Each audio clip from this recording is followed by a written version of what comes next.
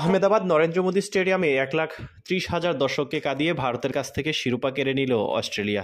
দুশো একচল্লিশ রানের লক্ষ্যে খেলতে নেমে বিয়াল্লিশ বল বাকি থাকতে ছয় উইকেট হাতে নিয়ে জয়ের বন্দরে পৌঁছে যায় অজিরা।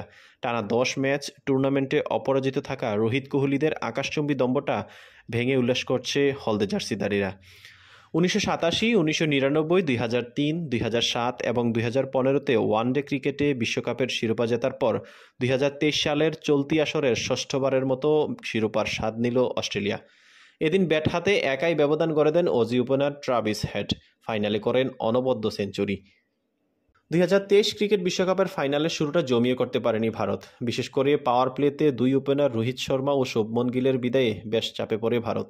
তারপর এই চাপ আরও বাড়িয়ে দেন দুর্দান্ত ফর্মে থাকা শ্রেয়াস আয়ার। দশ দশমিক দুই ওভারে কামিন্সের শিকার হন তিনি। এরপর বিরাট কোহলি ও কে এল রাহুলের অর্ধশত রানের ভর করে সবকটি উইকেট হারিয়ে ভারত দুইশো একচল্লিশ রানের টার্গেট ছড়ে দেয় অস্ট্রেলিয়াকে।